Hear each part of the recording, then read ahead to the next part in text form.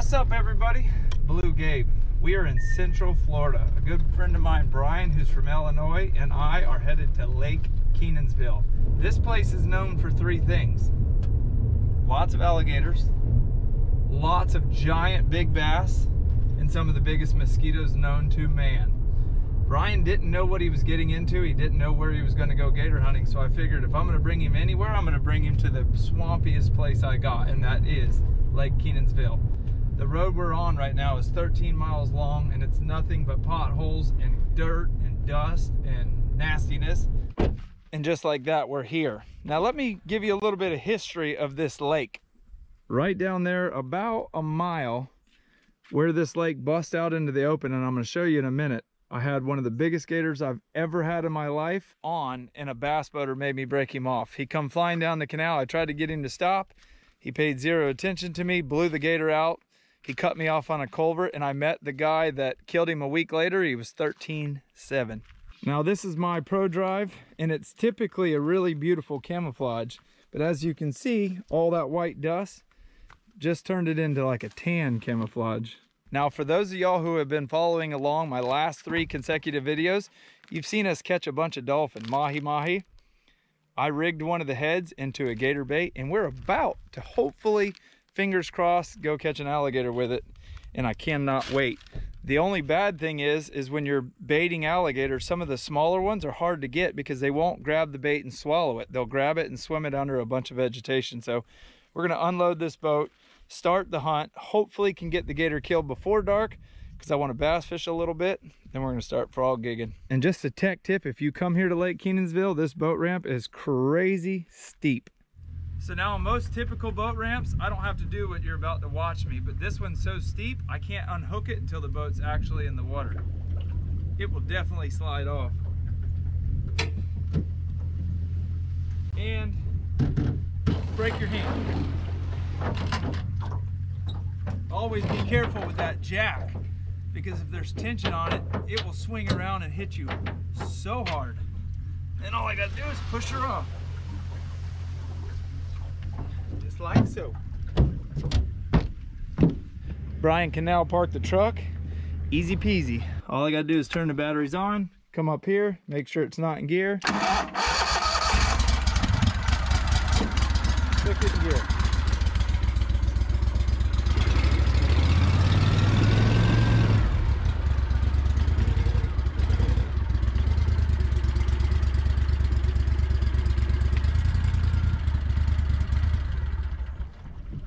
Best part is, done. All aboard. Y'all meet Mr. Brian. Are you ready though? I am ready. Brian owns a couple farms in Illinois and invited us up deer hunting. It's gonna be on like Donkey Kong come November. So here in South Florida, we can legally gator hunt from 5 p.m. till 10 a.m. Luckily for us, it's already 545 so we can start to hunt right now. I'm gonna go ahead and tie my bait on. I like to double up my line just a couple feet, you know, because the gator will roll up on your bait really bad and their scutes are really, really tough. I've just got some parachute cord going to the dolphin head. My main line is 80 pound test beyond braid. This stuff is crazy strong. I use blue and orange so when I get close to the gator, I know where I'm at. As soon as I see that orange, I know I have five feet left. So we're gonna turn the camera off, run down this canal as quietly as we can, looking for the right gator. And when we do, I'm gonna show y'all how to do the rest. All right, so we're on the far east side of the lake. Lake Kenansville is actually a big square. It's broken up into two squares. We're on the north square on the east side of it. These gators get hunted a lot, so I'm actually gonna try to trick them. I'm gonna start bass fishing, and while I'm doing that, Brian behind the camera is gonna start looking with his binoculars, and I'm gonna be looking and wait for one of these big gators to pop up, and hopefully they think we're just some innocent bass fishermen. My favorite lure here is a Zara Spook. One thing I did notice is all the vegetation is brown, meaning they just sprayed like every square inch of this lake. So I don't know how it's gonna affect the fishing. It shouldn't affect the gator hunting at all though. We will see one pop up here in a minute.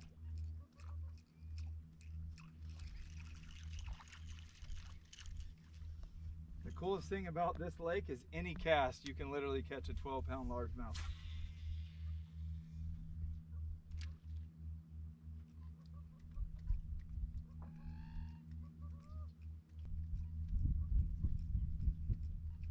There's a freaking honker right there. Give me your binoculars. I just poked back on me again.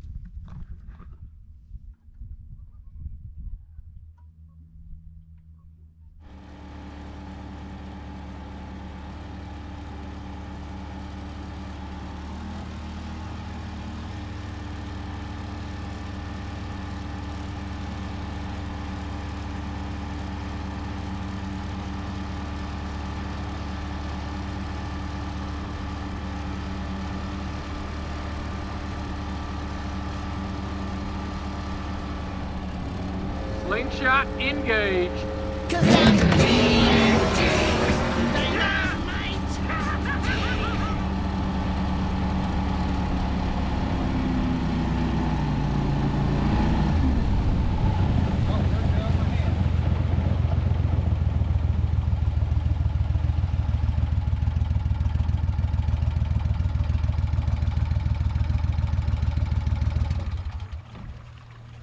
See me about get jerked out of this boat?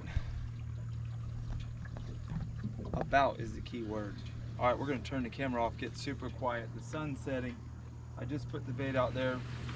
For right now, it's all we got. So we'll turn it back on if one pops up.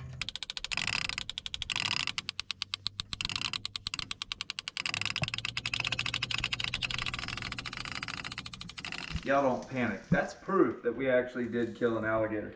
Now, as soon as it got dark, we got both baits. I actually put another one out after that last clip that you saw. Both got ate. That's where the absolute complete crap show started. So this year, all year gator hunting, I have had struggles with gators eating my bait and swimming up under mats. I did it the other day with Tanner for Nebraska, and then again last night, actually two different times. But this gator lost the battle for sure. And I'm gonna show you that, but first I wanna get this meat marinating. That way I can go outside around the duck boat, what we hunted out of, and tell you the story, because I promise you it's exciting and we got some stellar footage of it. So first, this is the jowl meat of an alligator, right here on its jaw.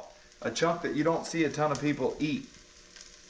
This is his loin, which is like the backstrap in a deer. It's in the back of his tail, actually encased in another muscle. And I'll show you how I got that out. But first I want to cut it up and get it marinated. Y'all check that out though. See that logo? Danco now has an engraver that's in-house. If you call them and order a knife, you have an option of putting your logo or you can get one of mine with my logo on it. So this is my nine inch. I'm gonna take this meat and cut it in about one inch strips, just like that. This piece of meat reminds me a lot of a turkey breast. It has that little bit of silver meat inside of it, so you want to cut that out. It actually feels like a really, really tough piece of meat. But we're going to find out. I've got Michael Fugue behind the camera. Brian is a truck driver, and he actually had to leave early to head to Fort Lauderdale to pick a load up and then haul it all the way to Illinois. So now the loin definitely does not have that in there. It just cut it up just like you would a deer backstrap. And that's obviously probably the best chunk of meat on the alligator. But I wanted to make something different than what everybody's used to. That's why I'm making the jaw meat. And I can definitely tell you this is a lot more tender.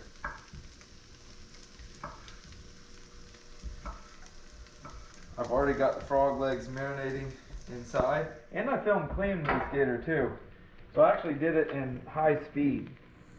Taking some pickle juice. Then I'm gonna take some jalapeno juice. I'm gonna let that marinate for about 30 minutes. So when it comes to cleaning an alligator, this little $6 Danco knife right here is actually how I killed the alligator because I forgot my bang stick. I always take my bay boat. Last night I took my duck boat. I got out there, got the gator right up to the side of the boat, and I'm like, oh boy. This little $6 knife took the life of the alligator and cleaned the entire thing. Probably took me 30 minutes. I took its front shoulders, its rear legs, It's back straps, it's tail meat, it's jaw meat. Literally, I cut the whole thing up and sent it to Illinois, except for this little bit here.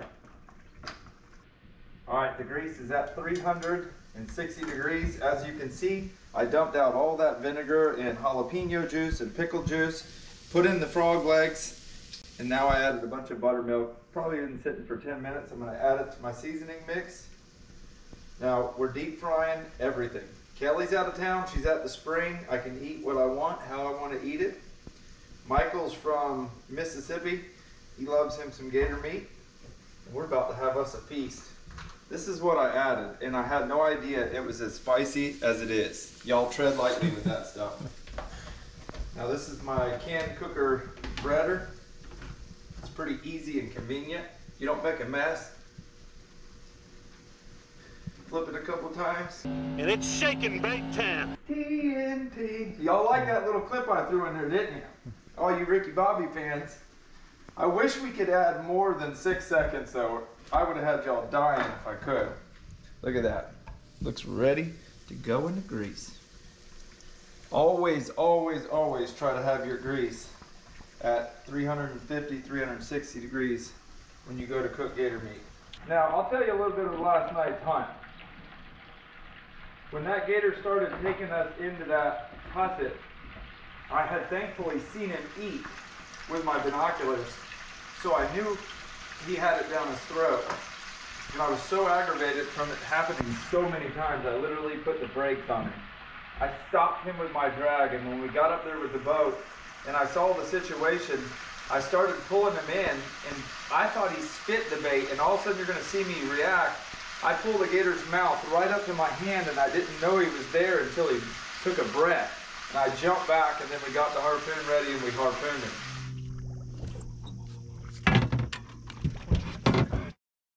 Stop him.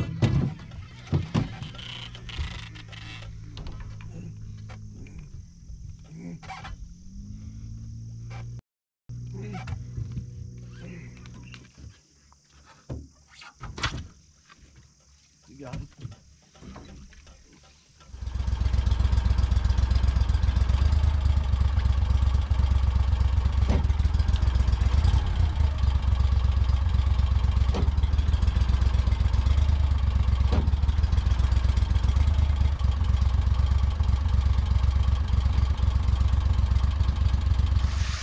You think that gator's gonna be as good as those?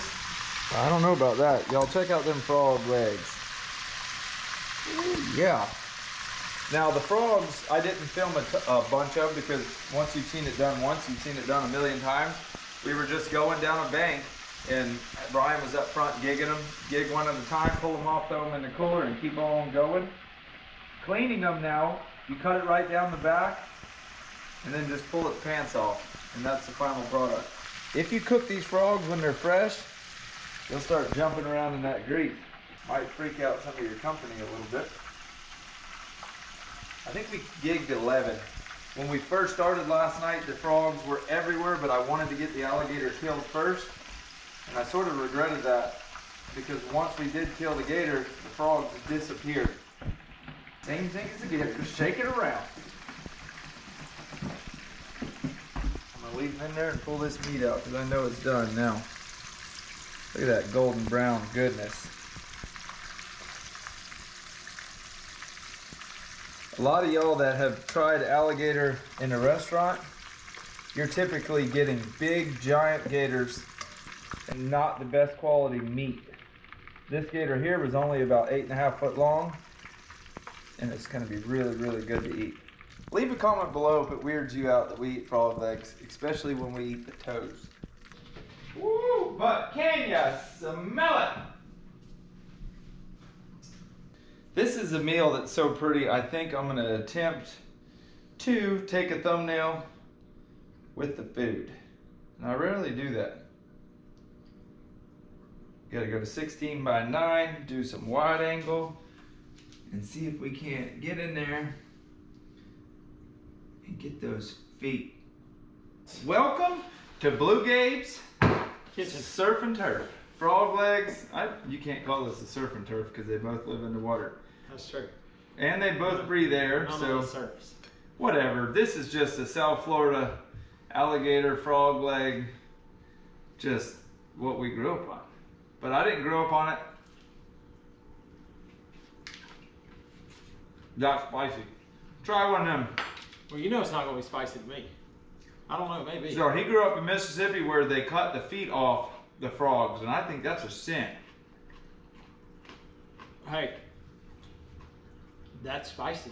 Yeah, the They mouth's on fire. They put a lot of cayenne pepper in it. hmm I think. So the toes, Mm. see that? You go. Very good though. That's crunchy. Listen,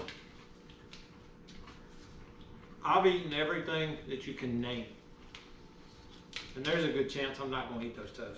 Why? Look right here. That's a good one. Mm. Mm. Well, you, I mean, you could start with the thigh and work your way down. Or Tell him to eat the legs. Well, I'm gonna eat the leg. You know what? My first bite of gator was definitely. I'm having a hard time chewing it. The jaw meat. If it was the loin, like this piece right here, look at that. You saw me bite and I'm still chewing the jaw meat. That just tears apart. It tastes just as good as the rest. You know, frogs. People have a like a taboo with frogs. They're not bad at all. If you can get past, it's a frog. Now these potatoes right here are to die for. I just poured them in the cast iron skillet with some Ken Cooker Creole seasonings, lots of olive oil and onions. Put a little bit of ketchup on those. Woo. The broccoli is Kelly's famous broccoli. She almost cooks it exactly like I cook the potatoes, minus the Creole seasonings. Sear it, like almost brown the broccoli in a cast iron skillet with olive oil. It is so good. So the little knuckles. Man, my son, my youngest son, in no way. Not a whole, uh, you got the whole foot, huh? You went for the whole foot. You're not supposed to eat the whole foot. Just eat the toes. Well, I got the whole foot.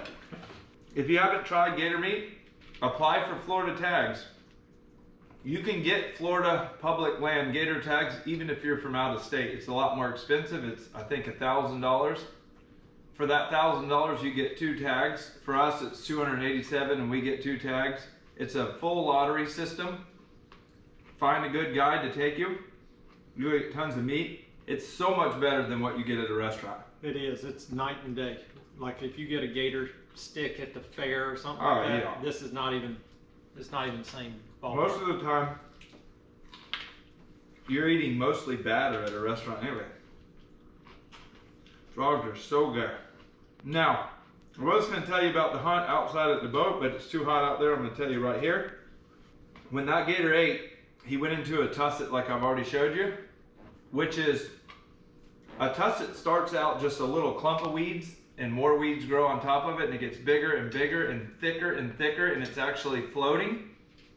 It looks like dry land, but if you step on it, you could fall through it.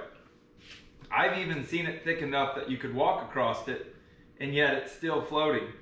The gators will go up under there. And what I think's happening is it's starting to cool off here in Florida right now. They're not actively wanting to eat, but they're actively wanting to kill things. And they see our bait, come over, grab it, swim it under the tussock, and they'll just put it up under there. They want your, they want the meat to rot, so it doesn't take so much energy energy to digest it. And that's what they do with people and dogs. I've lost hog dogs in the past where they'll grab them and you'll find them under a log, get your tracking collar back and move on because nothing left to do but weep for the dog. So we got in there, I cut him all the way loose, got him out. He almost bit me. That's when I discovered I didn't have a bang stick. So I had to shank him. You did That, that little Danco knife, I wish Brian was here so he could tell you. He's like, what do you mean you don't have a bang stick? I said, bro, I got a bang stick. I just don't have bullets. it ain't that big of a deal. If you do try to be stupid enough to kill an alligator with a knife, you better be careful because they'll spin around and bite you in a New York second. And if a gator does bite you, whatever it's biting, like arm, leg, it's coming off more than likely. So You're gonna lose it. we got the gator loaded up. Got home at two o'clock this morning. Cleaned him right outside. Brian took 90% of it. We got this little chunk that we got that because that's all we need. And you're watching us eat. Tomorrow, I'm gonna go do a mullet video. The mullet are running right now. I want some fried mullet backbones.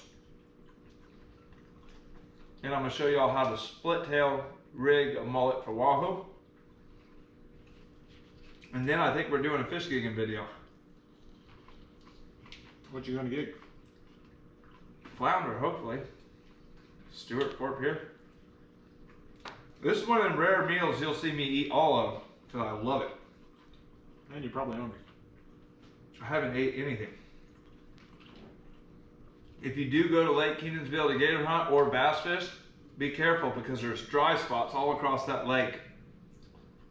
Mike and I have some serious history there. One of my biggest bass ever. he missed the net. About caused me to have a heart attack. Not true. I got him on the deck. Yeah. I proceeded to lay him down on the deck. And then uh, we caught like three nine pounders in one night. Oh my goodness. Oh, nighttime vision. Let me tell y'all something about me. I don't think he could have did it. Last night we're set up. Listen to this, and this is a good time to show some more footage. Last night we're set up, Michael. It is glass calm as far as you can see. The sun setting. Fish are busting everywhere, and I had to sit there and be quiet and couldn't throw a spook with a uh-huh. spook tied on right next to me. Wouldn't happen. That was one of the hardest things I've ever done because I didn't want the gator to hear us or see us because we were in such a tight little hole. Typically, Lake Okeechobee, you're fishing big, massive, wide open areas. But Kenansville is such a small lake and then the hydrilla is so thick, we were fishing a little tight pocket about the size of two football fields. Man, that pepper's hot. It is very hot. So I couldn't throw my Zara spook right there at the last minutes of daylight when you just get crushed. I did have a big bite though earlier on in the evening and missed him like a jerk. I think that we had a cool front come through yesterday. And that slowed him down a bit, but I'm gonna take Jake back there this weekend, film a cool video like we did at Lake Garcia, and bring y'all along. So You gonna do a night vision? you lose too many lures fishing at night in Florida, the gators eat them. Well, you wasn't there since they sprayed. Oh yeah, that lake's dead. You remember the popping purchase? Did you get one of these darker pieces? I'm telling you, they're all hot. That's hotter than a lighter piece. Y'all, we got to get up out of here. I got editing to do, boats to clean. You don't even want to go out there and see my duck boat from last night. There is mud from one end of that thing to the other. I got to edit this video, get it up for you guys. Right now, though, like Jake always says, it's time to get up out of here and get that gator meat out of here.